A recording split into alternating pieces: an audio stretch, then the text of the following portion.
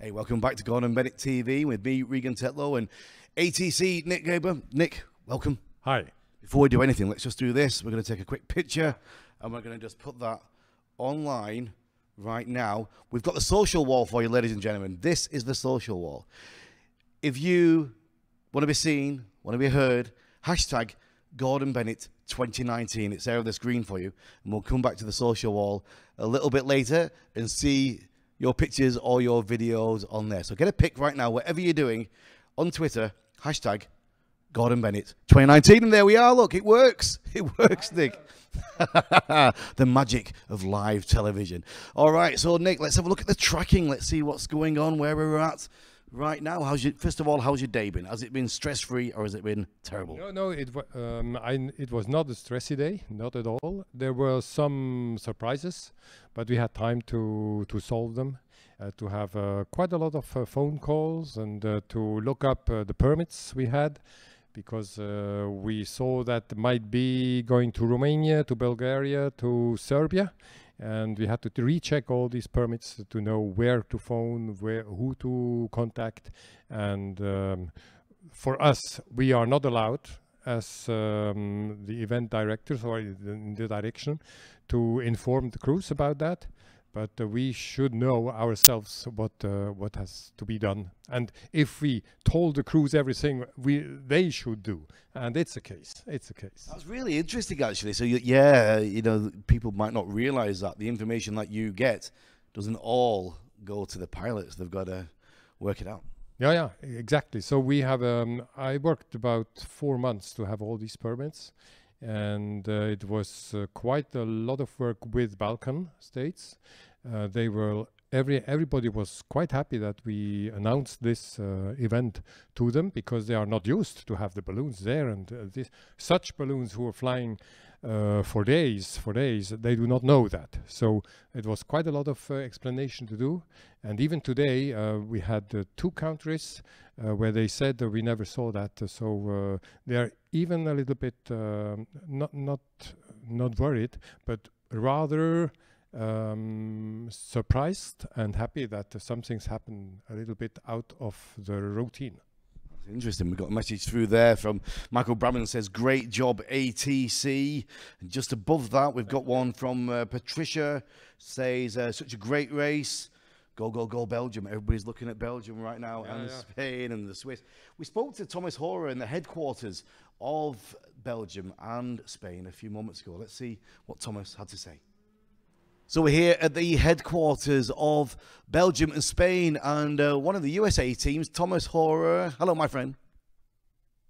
Hi Regan, how are you doing? I'm good, thank you. You just you, you're managing two teams now, yes? That's correct. Yeah, one team has landed northeast of Munich, uh, but two teams are still in the air and flying towards Romania. Yeah. What a day! Everybody's bunched together. Everybody's on the same track. That's true. They were split quite a bit, the balloons, but they now uh, found the autobahn down to the Black Sea. Yes. So how's the day going there? What's been happening at the headquarters? Um, so our day started with uh, the landing of uh, Mark and Sherry uh, northeast of Munich, uh, which uh, we knew in the night already. They they had energy uh, issues um, and also issues with the communication. So the primary radio wasn't working as much, and the secondary radio was still working, but wouldn't have lasted to fly through Austria and um, through Hungary and Romania. So the safe decision was uh, uh, to land, and they found a nice spot. Uh, friends of ours uh, were at the landing site, so um, everything went well. I think they are quite happy. They had a nice flight. Forty some hours is also a good achievement. Um, then the, the next issue uh, or issue was how, how to get our um, balloons through Vienna airspace. That was uh, very smoothly. Thank you very much for the air traffic controllers in Vienna. They did an excellent job there. Um, we we managed to get them around the highest peaks of the Alps, and um, they broke in the morning. The uh, Spanish broke their Spanish duration record, and in the afternoon, the Belgians broke their um, Belgium duration record. So we have two duration records right now on the clock. Um, we're, we were watching the weather. As you know, there's a weak cold front coming in from the north, uh, which uh, causes some destabilization. We needed to get them clear of that, so a lot of south was necessary. But everything goes according to plan. Really, we are very, very uh, satisfied with uh, the progress. That's great. Everybody watching back home now, of course, the big question on everybody's lips as we go into this fourth night is who's going to land and who's going to continue through the night. I mean, obviously, you're not going to speculate on your teams, are you? You're not going to give that information away. Well, I actually can. Uh, we are going to fly through the next night. Uh, both of them are uh, quite well equipped on ballast. So, and that doesn't um, give any, uh, let's say this way, it doesn't help any other teams whether they know whether we fly or not. I think every team flies by itself, um, does their strategy and just because they know we are not flying on. So yes, um, we are going to fly through the night. Well, that's good. That's good news. Belgium and Spain flying through the night. Thomas, um, the teams that have landed already. Any surprises there in your eyes?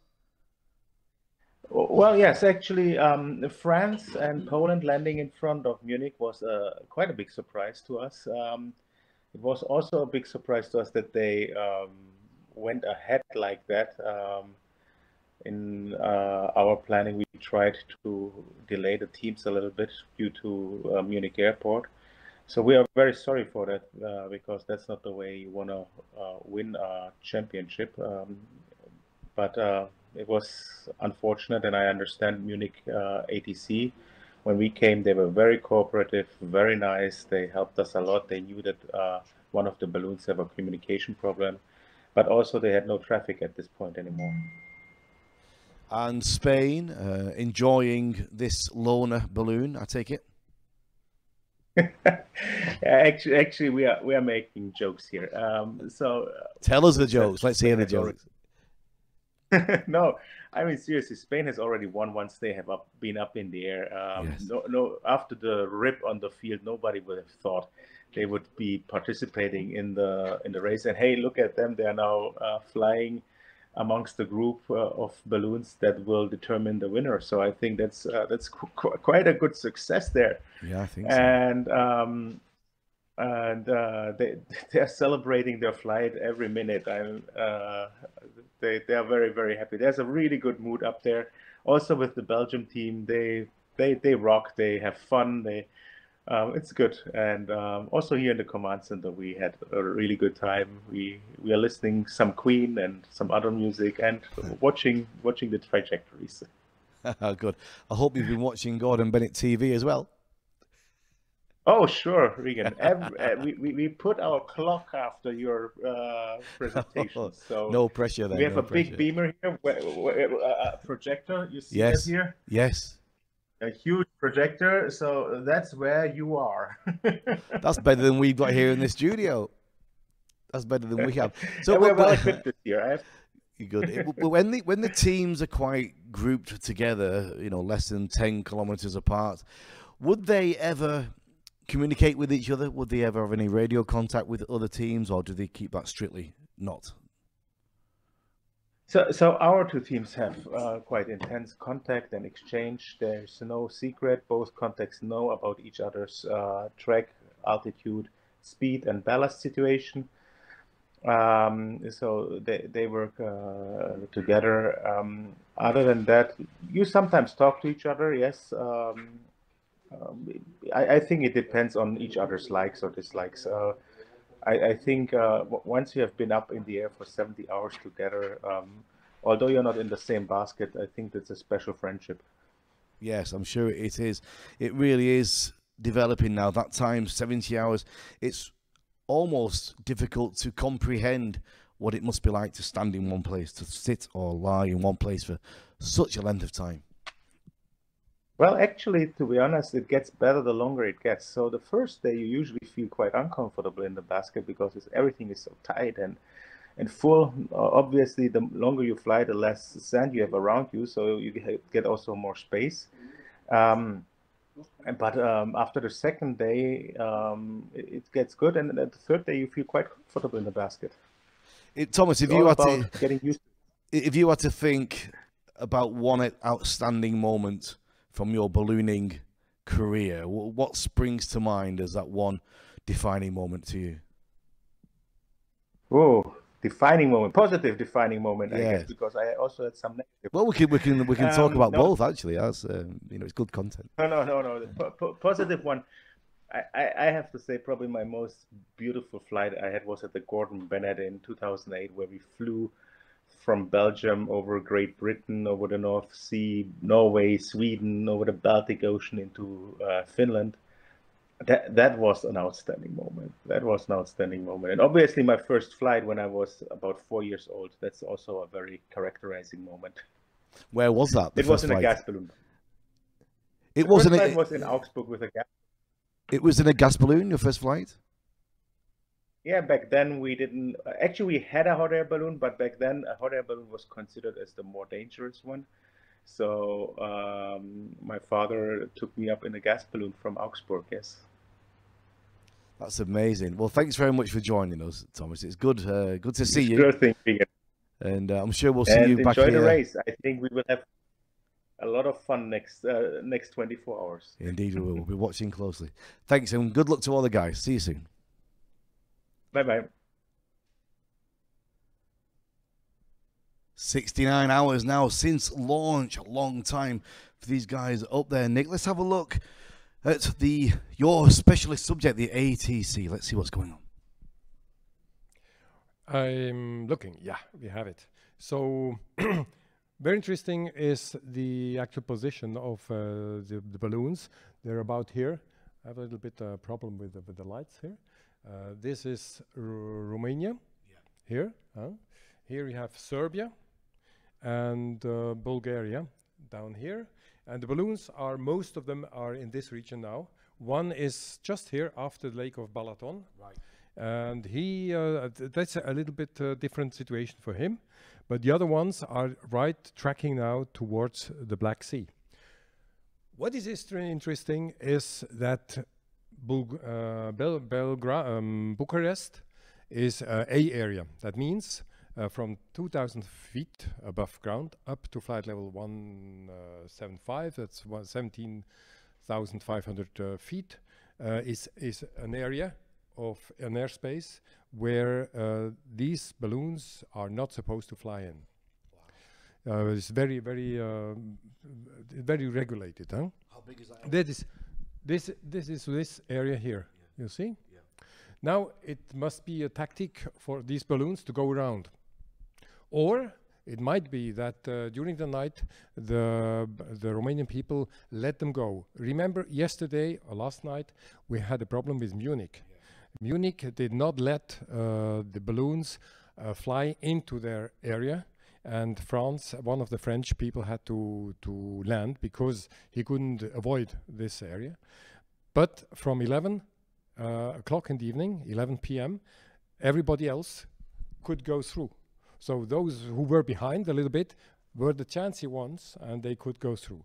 Might be the same here in Bucharest. In Bucharest, that if the first balloon, which is now uh, the Swiss two balloon, if he goes through, uh, if it doesn't go through, he has to land. The ones, the other ones who are three or four hours behind, they get the clearance. We never know. It's not my job to do that. It's the crew's and the the pilot's uh, job to do that. That's one of the things. Now, when something which is very interesting for tomorrow for the record. Here is the Black Sea. You cannot go further on because on the other side is Turkey, and that's uh, a red zone. They are. We have no permit to fly in. So they have to land somewhere before going over water. The, the, the point from Montbéliard, which is the farthest, the farthest away, is just here on this peninsula. Everything which is here is near to Montbéliard, and you know it's the longest distance, which gives the, the winner. And then in in uh, Bulgaria, there is one spot where really uh, at the very end, southern end of Bulgaria, where where it uh, touches to Turkey, there is um, a, a spot which is. Uh, 10 kilometers further away than Montbéliard. Otherwise, everything is, is nearer than this one, this point. So it's very interesting what they are doing tactically. Are are they going around here to the north? But the winds are mainstream is this, and at some certain levels, the wind even turns to the south. So I don't know what happens this night, but this night is uh, very important, I think. And here you see uh, one balloon is uh, crossing, that's fr the French one, French one. He is crossing just uh, here um, on the on the front on the border between Romania and uh, Serbia, and he will enter Serbia a little bit. I think he will continue then to Romania. Depends on the altitude. If he climbs, he continues to Romania. If it stays low about 2,000 meters, I think, it turns into Serbia. So it is very interesting. And for me, as ATC, we are we are looking at that, and uh, I know that uh, Serbia, I called them the already. We call that naturally also uh, Romania. Everybody is uh, happy to see these balloons, really, and uh, so we uh, we we are looking looking forward to the next night. Wow, it's going to be really interesting. Not much sleep for everybody tonight. France won. The uh, reason we're actually here in Montbéliard from the uh, win two years ago uh, sent us a, some video from the sky. Let's have a look at what they were saying. Hello, this is Christophe for Balloon France 1. Vincent is sleeping. So, first point on this flight. Uh, we are airborne for 64 hours now, um, flying in uh, for one hour, I think, after Austria. And the beginning of the flight was quite long.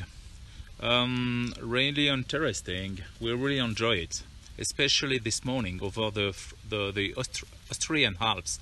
The panorama was just uh, just uh, speechless, amazing. Um, probably one of my best flying gas balloon. Um, we are really rested um, we think the the it's going to last. Um, we are prepared for that. We also hope the balloon is prepared also. We will see that. Um, we are in good spirit, high spirit, and uh, we enjoy it a lot. See you. It's quite special for you, Nick. Not a lot of people in air traffic control will get to be involved in something like this. No, exactly. Um, that was a chance that I had uh, 40 years ago when I took a phone. I told you already, I think, and uh, then it started with Château-d'Oex, this balloon uh, balloon meeting, and from Château-d'Oex with Bertrand Piccard, then the, the orbiter uh, three flights uh, I routed around the world, and now 13 years uh, with with Solar Impulse, which was so exciting, so exciting. And now, also due to Solar Impulse, I have been taken into Gordon Bennett and it's the third year I, I, do that and I really I do that. I like it. I like it. It's quite a lot of work. It's especially it's a lot of emails a lot of telephones also prepare, preparing all these permits. Uh, I started in May uh, to contact all everybody and I had to call many of them in July and in August and just uh, the Romanian Romanian permit I received on Friday afternoon before there was the launch only at that moment I had the, the, the, and fortunately we have it because we are going to Romania. So it's it's exciting. It's exciting. I like it. Any more big high profile events coming up for you in the future no. that you can talk about? No, that's a little bit um, uh, something which uh, makes me worry. Uh, for the time, I have no no job anymore. We're all in that situation when the uh, when the cameras go off. But yeah, you never know. There's always something no, coming up. Yeah, yeah. Okay. Well, it's that time of day where we're all starting to thinking about dinner. Have you had your dinner yet? Are you hungry? No, I'm not, uh, because lunch was very uh, a big a big plate and dessert and everything. No, no, I'm not uh, too hungry. You're getting fed better than we are. I have to, I have to be uh, be back on on the on the job at two o'clock in the morning, two a.m. So I will have a small a small snack before. Well, we are thinking about dinner, and we know the pilots as well. They've got to feed themselves up there for 70 hours right now. Let's have a look at Swiss 2 and their dinner preparations. Swiss 2 short before in-flight dinner at uh, the third day. Huh? Even that we are in uh, high above the clouds, uh, we still can enjoy nice meals, nice food. So we have now here two uh, freshly made um, instant pasta and what do I have here? Veggie snack, yes. And for the dessert, we then can take the chips. Um, and everything is ready to go. We are happy here in the air. We go for the next night and fingers are crossed that we make a very good result. Bye. Bye. Keep us supporting us. Yeah, Peter Kelsey there says he recognises you from the solo nice, info. nice, nice. Yeah, yeah. It's good to get I the uh, the recognition for It's the. a pleasure. It It's is, a isn't it? pleasure to that. Thanks for joining us, Nick. We really appreciate it. Thank you, Regan. So as it stands right now, two Swiss teams in the lead. Swiss 2 just over 1,130 kilometres. Swiss 1 just over a 1,000 kilometres. And France 3 biting at the tail with 1,040 as we stand. It's currently 69 hours and 40 minutes, I think we're coming up on, since the launch of this Gordon Bennett 2019. We're going to leave you with some great pictures from France 1, but we'll be back with our last update at 9 p.m. We'll see you then.